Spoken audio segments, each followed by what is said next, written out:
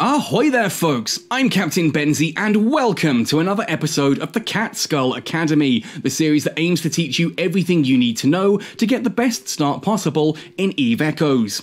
In today's lesson, we're going to be asking the question which ship is best for you early on in the game as a new budding combat pilot? Now, in EVE Echoes, there is no conclusive answer to the question of which is the best ship. If you've ever asked the question, hey, which ship is best in this game, and someone has just given a direct answer, they're lying, or they're biased, or they're making assumptions. The simple fact is that whichever ship is best for you is dependent on a lot of different variables. What do you want to do with the ship? What kind of skills do you have in the game? What kind of playstyle are you looking to enjoy? All of this and more are going to ultimately dictate which ship is best for you, and so that's what we're going to go through in today's video. Now, as usual, if you do enjoy this video, please let me know by hitting like on it. And if you are after more content like this, make sure you are subscribed to the channel so you never miss an update. And if you're looking for more lessons and more information about how to get started in EVE Echoes, make sure to check out the Cat Skull Academy playlist. It's linked in the description below, it'll have a link at the end of this video, and of course you can find out more by heading to my YouTube channel page directly. Finally, if you do want to support this channel and go the extra mile to keep me doing what I do, you can head across to my Patreon store and my Redbubble merchandise store. All that said and done though, let's jump right into talking about which ship is best for you as a new combat pilot. When someone asks me, hey Benzie, which ship is going to be best for me to use? The first question I have to ask them right back is, what kind of content are you looking to do with it? Now in this case, for this video, we've actually already answered this question. We're looking at the best ship for newer combat players to aim for. So this is something that basically early on in the game, you're going to be running things like news encounters, or if you're part of one of the nullsec alliances early on, you might be running lower tech nullsec cosmic anomalies anything that is PvE, basically, shooting ships that are not controlled by other players. And there are some definitely better options for this than some of the others, and that's what we're going to go into. Now, the ship that you're going to start with ultimately depends on which of the four races you chose at the early stages of the game during character creation. At the end of the tutorial, you will have a destroyer that has been given to you by the particular race that you chose. So for example, if you chose the Amarr Empire, you will have a Coercer destroyer. If you chose the Minmatar Republic, you'll have a Thrasher destroyer. And if you chose the Gallente Federation, you'll have a Catalyst destroyer. And if you chose the Caldari State, you will have a Cormorant destroyer. Now, I've already done videos on all four of those ships, so if you want to be using those to start off with, do check out those videos, type into YouTube Captain Benzie and then whichever of the four destroyers you happen to have. Early on in the game as well, you will be given a box that contains a trainer destroyer. This could be the Talwar, uh, Talwar trainer, the Corax trainer, the Algos trainer, or the Dragoon trainer. Now, I don't necessarily recommend skilling into any one of these. They can be interesting, and because they only use destroyer level skills and small weapon skills, you can train into those as you see fit, but ultimately, for the most part, you'll probably get away just fine with your Coercer, Catalyst, Cormorant, or Thrasher, whichever of those four you have have. Once you hit tech level 5, however, you have a few more options open to you. Now I'm going to jump out of the ship tree for a moment here, and we're going to open up the shipboard AI. Hopefully, you have been working on the road to set sail. These tutorials um, can be done, you earn a new list of these tutorials every day up until the end of your first week. You can complete these at any pace you like, but once you have completed all seven days, in addition to the rewards that they give you in the top right of each of the uh, menus here, here themselves, they also will reward a ship safe. Now, this ship safe contains your choice of one of these four trainers the Omen trainer, the Caracal trainer, the Vexor trainer, and the Stabber trainer. Now, not all of these are made equal, and we'll talk about more of these in just a moment. So remember, you're going to have this ship safe, which will give you a free trainer cruiser at tech level 5. Now, during your daily login rewards as well, in your first month, you will also receive numerous crates that give you new weapon skills. These are all medium skills. You can open the crate and you'll have your choice of either medium laser skills, medium laser operation, medium missile operation, medium railgun operation, and medium cannon operation. Now, at first appearance, these might twin up quite nicely with this ship safe. After all, medium laser operation works really well with the Omen trainer. Medium missiles works really well with the Caracal trainer, and medium cannons works really well with the Stabber trainer. But what about medium railguns? Well, unfortunately, the Vexor trainer is a medium drone ship, so it does not really get much effect from medium railguns. Of course, you can put railguns on the Vexor, but it's not really going to help you all that much. That means, of the three trainer ships here, if you combine those with the skill ships you're going to be getting, then the Omen, the Caracal, and the Stabber are going to be your best options because you can get straight to medium laser operation 4 and have an Omen trainer you can go straight for the Caracal trainer and have level 4 of medium missile operation, and you can go for the Stabber trainer and have level 4 of medium cannon operation. However, again, there is a sort of better or worse option for this, as we'll now discuss. We're going to go back into the ship trees here. Now, if we go straight off into the Amarr ship tree first of all, at tech level 5, we have that Omen trainer that we've just discussed, and you can see it gets bonuses from medium laser operation and cruiser command. First of all, medium laser operation you're going to earn through the, that skill chip. You can just use the skill chip to get medium laser operation all the way to level 4, then you just have to train the level 5. Cruiser command, again, there is a skill chip that will help you train that early on in the game. So these are nice and easy to get, right? And once you have finished tech level 5 and you are onto tech level 6, there are some options open to you. So at tech level 6, we then have the Omen Navy issue. This is the big brother to the Omen. There's the Omen Trainer, the Omen, and then the Omen Navy issue. This is actually a surprisingly powerful ship. The downside though for a newer player is that it is advanced medium laser operation and advanced cruiser command. Now, if you are an alpha level pilot, if you do not have Omega on your account, you cannot train advanced skills. And if you are an Omega pilot and you let your Omega lapse and you go back to being an alpha, you don't have access to those skills. They don't go away, which means when you get your Omega back, you will get the skills back. But for the time that you are not an Omega, when you are back to being an Alpha, the Omen Navy issue is not a great ship because you're not getting any of the bonuses from it. Now there is another option at tech level 6. This is the Maller. Now, the Maller is also a medium laser cruiser. This uses the medium laser skills. It's going to help, you know, the, the, medium laser skills are going to increase the laser damage on this ship, but the ship itself only gets bonuses from armor operation and cruiser command. And you'll notice that both of those are basic level skills that are trainable by an alpha pilot. This means that if you were to go for the Omen trainer early on and train into medium laser operation, then the Maller makes a really nice option for you to upgrade to once you hit tech level 6. It's also an incredibly tanky ship that can do a lot of damage. And we have covered this elsewhere on the channel as well, so I do recommend checking that out if this is a ship that you're interested in. So going for medium lasers and choosing the, uh, uh, the Omen Trainer seems to be a really good solid option, right? Good. Let's have a look at the Minmatar Republic. What if you went medium cannons and you chose the Stabber Trainer? Well, the Stabber Trainer, as we can see here, gets bonuses to Medium Cannon Operation, which you would have at 4, and Cruiser Command, again, which you would have at 4 at this point, and you can just train those up to get the most out of the Stabber Trainer hull.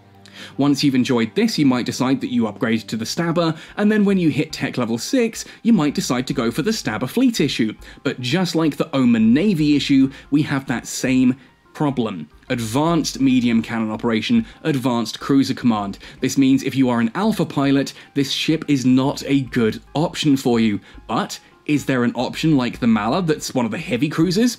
Yes, there is. This is the Rupture. The Rupture is actually one of my favourite looking ships in the game as well, which does really help it out. But this is a ship that uses medium cannons, so it's going to get bonuses. You know, you're going to be improving it thanks to having the medium cannon operation skill trained, and it gets its bonuses to the ship from shield operation and cruiser command, both basic level. These heavy cruisers that we're showcasing here are ultimately the highest tech level ships in the game that only use basic skills. These are pretty much designed for alpha pilots like yourself getting started in combat. The Rupture is fairly fast, the autocannons that it fires are pretty damaging, and it is pretty tanky as well. The Maller and the Rupture are both fantastic options for a tech level 6 alpha pilot. If you're not sure if you want to commit to spending money on this game and buying Omega, then the Maller and Rupture are both excellent options. Let's have a look at the Caldari State, because we said the Gallente Federation, their Vexor, was not a great option to start with, but the Caldari State at least, we had the Caracal Trainer. And remember, there is medium missile operation as part of those skill chips, so you could train medium missile operation and fly the Caracal, right? It works, it uses medium missile operation and cruiser command, and it's a pretty solid ship. Once we hit tech level 6 though, it is then the Caracal Navy issue, which again, same problem we had before, advanced medium torpedo and missile operation, and advanced cruiser command. So it's advanced level skills, not helpful for an alpha level pilot. But what about their heavy cruiser? Well, the heavy cruiser for the Caldari is the Moa, now, if we have a look down the list here, you'll see that this gets bonuses for railguns, which means those missile skills you trained for the Caracal just really aren't useful anymore. The Moa is a fantastic ship, and medium railgun operation is one of the skill ships that you will have available. So once you hit tech level 6, you might decide to use a medium railgun skill chip to train that skill up and get yourself into the Moa nice and early. Again, this is an alpha friendly ship, it can do a lot of damage with medium snub-nosed railguns, and thanks to its bonuses from shield operation there, it is an incredibly tanky and survivable ship. It's just a bit of a rough ride because you've probably chosen the Caracal and missiles before this. There are no railgun ships at tech level 5 is what I'm trying to say, so you kind of have to use that railgun skill chip in order to get this one, and it's only at tech level 6 that you'll really get hold of it.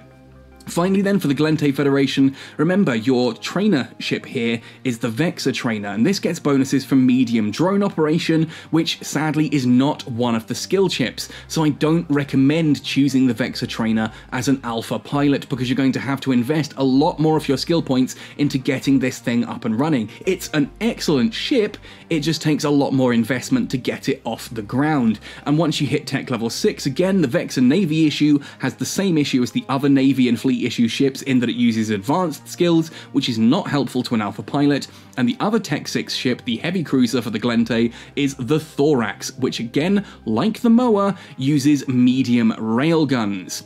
That means that if you've trained the medium railgun skill, you do have the option between the Moa and the Thorax, depending on if you prefer armor operation or uh, shield operation, depending between the Thorax with armor and the Moa with shield but ultimately you still have to train a second weapon system.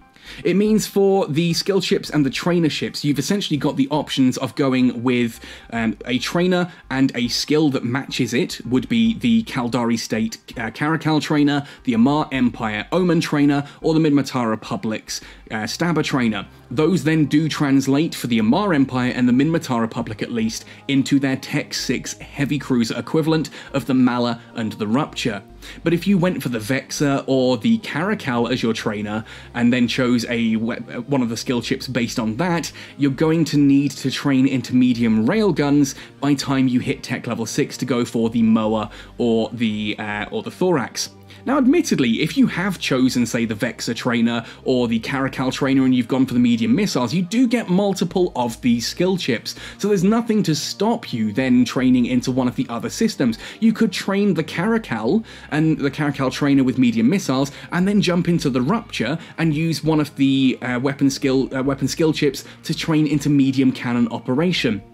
The thing I would say though is that those weapon skills, if you use, say, the medium cannon one, and you then are flying the stabber trainer looking to move into the rupture, when you get the other weapon chips, you can actually use them again, and because you've got the skill already trained, it just gives you the raw skill points, which you can then put into other skills, like getting the uh, cannon operation to level 5, for example, or upping shield operation, or upping cruiser command, or you can spend them wherever you wish. So if you decided that you wanted to go for the Stabber Trainer, follow it by the Moa, then all of those skill chips you can just keep choosing the medium cannon operation, and that will give you more skills to play around with, allowing you to skill into the Rupture and all related skills much, much faster. And the same is true for the Maller, because you'll be using the Omen Trainer at tech level 5 and moving into the Maller at tech level 6. They have a direct upgrade path, which unfortunately the Vexor and the Caracal do not not. They then move into the Moa and the Thorax, both amazing ships, but they do require a bit more skill point investment. Ultimately, that's why at the beginning of this video you can see that here I have the Maller. This character started off by using the Omen Trainer um, and then upgraded into the Maller here, and this will clear easily any Tech 6 and Tech 7 encounters that I get as part of my news encounters, and it does a lot of damage. It's very cheap to fit. It's not the cheapest ship early on, but it will see you for a long way. And one of the things I have covered recently on the channel outside of the, Cat, uh, the Cat Skull Academy is how these particular cruisers, these heavy cruisers, can actually clear content all the way up to tech level 10 if you invest the skills in them. So if you really like the Moa, or you really like the Rupture, or the Thorax, or the Maller or the I've missed one there, whichever one I've missed. Ultimately, if you enjoy these ships, they will see you all the way through to tech level 10, and as you go up the tech levels, you'll also get some variety with these hulls as well. The Maller, the Moa, the Maller, the, Maller, the Moa, the th Thorax, and the Rupture, sorry, all have their basic hulls, then they have Guardian hulls, which are designed to protect the fleet, and they have an Interdictor hull at tech level 10, which is big for PvP and hull holding enemy ships in place while you and your fleet rip them apart. So there are options there as well. This means that if you are a new combat pilot, these are the four ships that I would recommend aiming for. Pick one that you like the look of. It would be the way I suggest. They play very similarly. All four of these ships are designed around brawling, getting up close and personal to your target, and using beam lasers, snub-nosed railguns, or autocannons at short range in order to rip your opponent apart.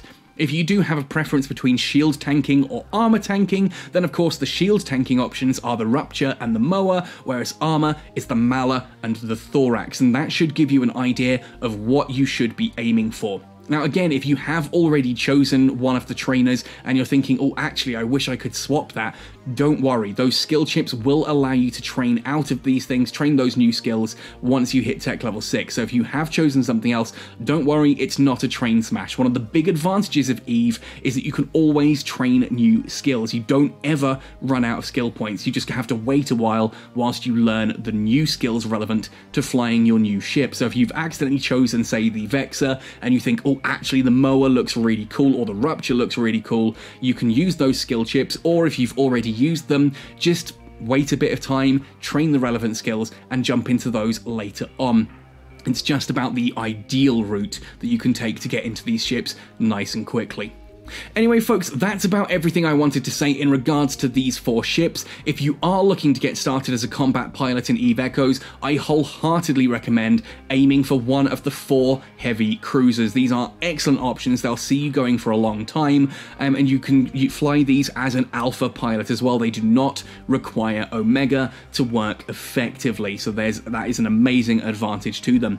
Let me know what your favorite ship is, though. Which uh, which of the destroyers did you have when coming out of the tutorial? Which ships did you then choose for like your uh, your trainer ship, and what did you fly after that? Because some people do stick with destroyers for a high level, other people move out of combat and go into things like mining, so on and so forth, and there are of course better ships depending on those uses as well. And if you go Omega, well, you might decide that the Maller isn't your thing, but the Omen Navy issue is, and if you don't like the Rupture and you're Omega, you could go into the Stabber Fleet issue, so on and so forth. There are options if you do decide to go Omega, and I'd love to hear what you guys have been up to in regards to that. Otherwise, folks, thank you for watching this right the way through to the end. Happy sailing, and see you in New Eden!